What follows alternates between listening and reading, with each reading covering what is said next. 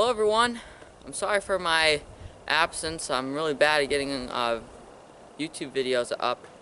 But today I'm out here in the woods uh, in the beautiful snow and I'm going to be shooting a video on 18th century winter moccasins and basically how I made mine and how winter moccasins should be made uh, in order to keep your feet warm in the wintertime. So stick with me and we'll get right into it. Alright, so let me first just give you a quick view of the moccasins when they're on my feet.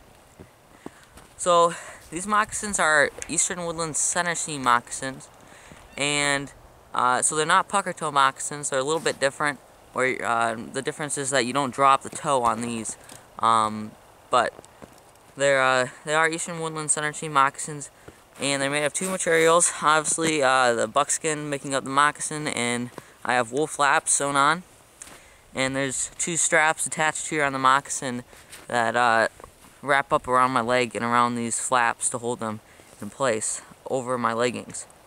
I like to tuck my leggings inside the flaps because uh, that keeps any snow from getting in there whereas if you put your leggings over the flaps you might get some snow uh, coming up in your leggings. So I tuck them in the, the flap, the flaps there, and uh, that works very well. So that's the view of the moccasins when they're on my feet. Just standard Eastern Woodland Center Seam moccasin with uh, wool flaps. And then we'll get into uh, what actually makes them uh, warm. Okay, so I just took this moccasin off. And as you see, just like I was just talking about, here's the center seam moccasin and my wool flaps that are sewn on to the top. And then the two straps that are connected here at the front of the, the flaps to tie them up. And here's the big, the major thing that you have to think about when making winter moccasin is moisture. And you have to get as much material between your foot and the ground as possible. So obviously you have one layer of buckskin here, the, the bottom of your moccasin. So you can either sew, sew another sole onto the outside of the moccasin, which I'll probably end up doing as well or you can do a lot of inserts in your moccasin.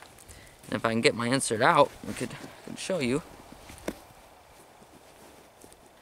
that I have a leather sole that goes and lays flat in the bottom of the moccasin, as well as four layers of wool. So I have a thick sole inserted inside the moccasin. So I have two layers of buckskin and four layers of wool between me and the ground, plus wool socks. Now, I have cotton stockings on as well. I do not have wool stockings. I should get some, but I have some cotton stockings that I wear during the summertime generally, and I have that under my uh, leggings, and those go down on my uh, my foot as well. So that uh, is an extra layer of protection as well, even though cotton is not as good as wool. But then I have wool uh, socks. I'll generally wear one or two pairs of wool socks in there.